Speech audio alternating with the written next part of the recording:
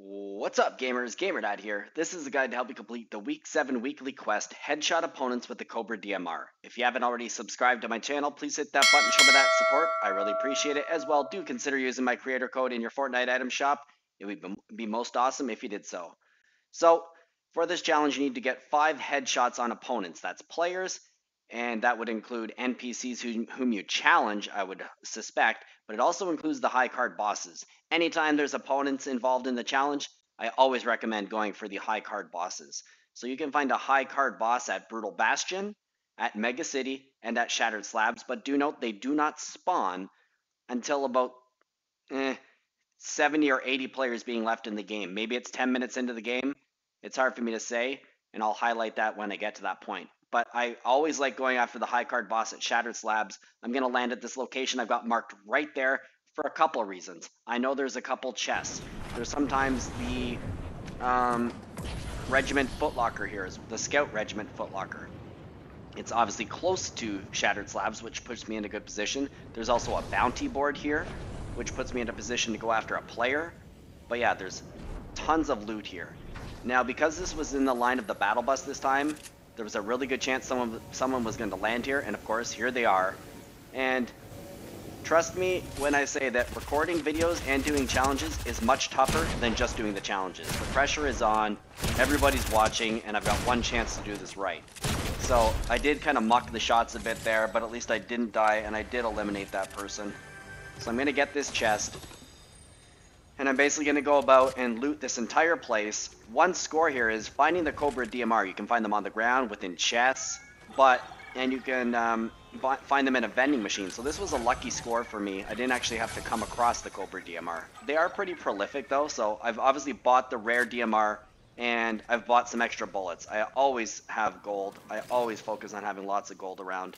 So as I find shields, I'm going to shield up. I don't want to die while I'm doing this challenge. I'm going to get any ammo I can. There's usually a chest right here. I'm going to pick that up. Now before I bail out of this place, I'm going to go hit my uh, the bounty board. Interact with this. Boom. And now there's going to be a big yellow circle on my map, and that's where another player is. So if I want to go after a player, prime candidate's right there. Otherwise, you can just listen for people, you can see them, and then you go and try and headshot them. So for me right now, I could have gone after that player, but to be honest, I really like going after the high card bosses. Uh, I find it's extremely easy to do. It does. Then you don't have to rely upon, you know, are you finding a player who's better than you, weaker than you? That doesn't become a, a concern really.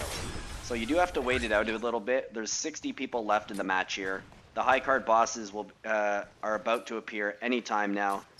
Um, I've got the ODM gear, which is awesome for traveling around the map. I totally love this this um, the ODM gear. It's such a useful item. To be honest, not even for attacks, which it is pretty decent for, but just to move around.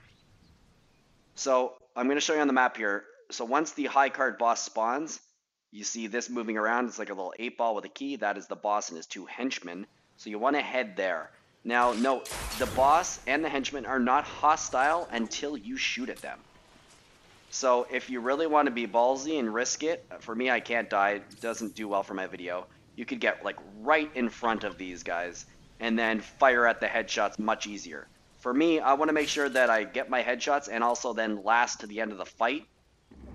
Um, so I'm trying to do it from afar. So it's not perfect, but anytime you've got head, uh, head uh, anything to do with opponents, I recommend going after these bosses. So as you can see, I end up nailing three of the headshots right there. Now the bosses just came up the zip line and I'm going to get my last two headshots now on that boss. Anytime you're in trouble or if you need to reload, do not be afraid to retreat for a moment. Just go there, reload, then come back and see.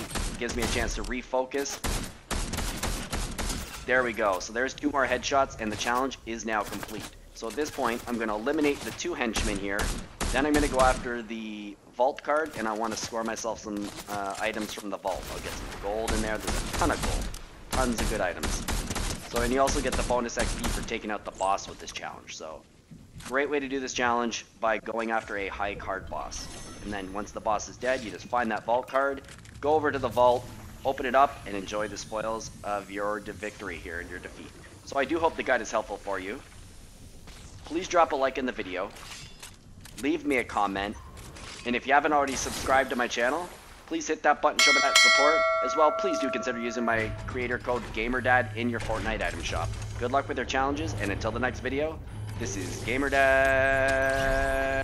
out.